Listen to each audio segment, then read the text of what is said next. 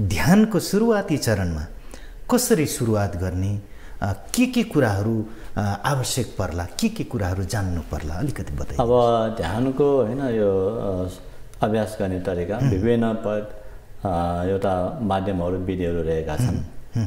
अहिले पनि जो नेपालमा जुन अहिले प्रख्यातको रूपमा भएको जुन आचार्य आचरण अभ्यास गर्ने जुन अभ्यास विधि भनेर एउटा अन्तर्राष्ट्रिय बुद्ध भावना केन्द्रमा होइन अभ्यास गर्ने विधि छ त्यस्तै नेपाल विपसना केन्द्रमा अभ्यास गर्ने विधिहरू छन् तर त्यो दुई जुन स्मृत प्रस्थान सूत्र अनुसार नै अगाडि गइराखेको छ अब अब दुइटै एउटा अभ्यासलाई हामीले जोडेर हेर्नुपर्ने हुन्छ अब एउटा होइन यो आफ्नो जुन मनलाई एउटा पेटको नाभि स्थानतिर होइन पेटको नाइटतिर मन केन्द्रित गरेर सास भेट्दा जाँदा पेट फुलेर आउँदाखेरि जुन पेटमा हलचल हुन्छ होइन अब सास भेट्दा जाँदा पेट फुलेर आउँछ अब त्यसलाई त्यति बेला चाहिँ फुल्दाखेरि फुल्लेछ। यथार्थ। यथार्थ। जस्तो छ त्यस्तै हेर्ने। अनि अनि अनि जति बेला सास बाहिर आउँछ त्यति बेला यो पेट सुकेको हुन्छ अनि सुक्दाखेरि सुक्दैछ। त्यति मात्र हो। अब यसरी सास भेट्दा जाँदा पेट फुलेर आएकोलाई फुल्दैछ अनि सास बाहिर आउँदा पेट सुकेकोलाई सुक्दैछ। त्यसको लागि चाहिँ हामी सुरुमा सामान्य रूपमा पलेटी कसेर अब हामीले चाहिँ त्यति बेला चाहिँ सामान्य रूपमा हामी भेमा होइन भेमा एउटा शक्ति सामान्य शक्ति लिएर धेरै अचो आसन नगरिकन सामान्य भेमा बसेर होइन शक्ति एउटा लिएर पलेटी मारेर पलेटी पलेटी मारेर पनि अब कुनै कुनै बेला अब पलेटी मारेर पनि एउटा पलेटी कसरी ध्यान गर्दाखेरि कसरी पलेटी मार्नुपर्छ भनेर धेरै जस्तो ध्यान ज्ञान नहुन सक्छ। अब पलेटी मार्दाखेरि चाहिँ खुट्टा यसरी खुट्टा हामी सामान्य रूपमा यसरी बसे खुट्टा एउटा खुट्टा अर्को खुट्टा ठिसेर बसेका हुन्छ होइन।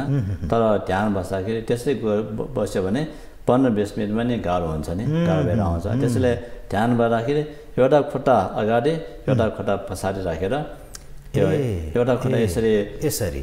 यो एउटा खुट्टा क्रस नगरिकन यसै क्रस क्रस नगरिकन एउटा खुट्टा अगाडि एउटा खुट्टा पछाडि राखेर एउटा खुट्टाले अर्को खुट्टा क्रस नगरिकन बस्यो भने नि लामो समयसम्म बस्न सकिन्छ। कि त यो त्यसरी बस्यो भने यो ध्यान भनेको नि यो दुखाइको लागि हो भनेर यो ध्यानमा यो बढे पछि पछि बस्न गाह्रो हुन्छ त्यसैले बलेटी मारेर बस्ने अनि त्यस पछाडि अनि यो प- उम्, यो खुट्टामा एउटा माथिपट्टि यो हात चाहिँ राख्दाखेरि हात यो औँला चाहिँ सिधा राखेर अनि यो बुढी औँला यसरी राखेर होइन त्यसपछि एउटा बुढी औँलाले छेको नछेको राखेर त्यस पछाडि यो ढाड चाहिँ सिधा हुनुपर्छ यो।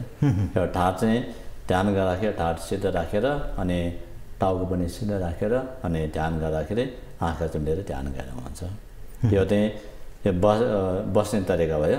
अनि बसेर आँखा चिम्ले चिम्लेर अनि मे- मुख्य विषयवस्तु भएको चाहिँ अब एउटा अघि भने एउटा फुलेको सुकेकोमा मन दिएर ध्यान गर्ने एउटा विधि छ।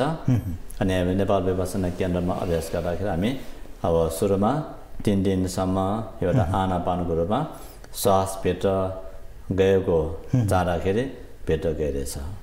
अनि सास बाहिर आएको अवस्थामा बाहिर आइरहेछ यसरी भित्र गएको बाहिर आएको श्वासमा रहेर ध्यान गर्नुहुन्छ भने चौथो दिनदेखि यो विपसनाको रूपमा यो शिरदेखि पाइडलसम्म एउटा संवेदना हेर्ने अभ्यास हेर्ने। यसरी यो अभ्यास दुईवटा विधि रहेका छन्। र अहिले दुईटै नेपालमा दुईटै विधि अनुसार अभ्यास गर्ने योगी व्यक्तिहरू रहेका छन्।